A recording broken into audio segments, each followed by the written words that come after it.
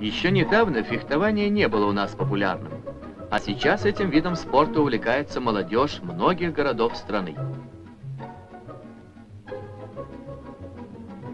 Встречается команда Украины с ленинградскими спортсменами.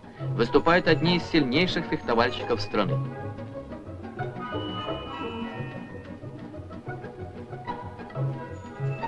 Ленинградец Эдуард Винокуров, член сборной команды Советского Союза.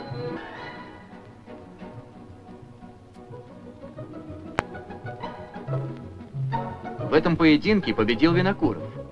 А вот в командном зачете победителя не оказалось. Встреча закончилась в ничью.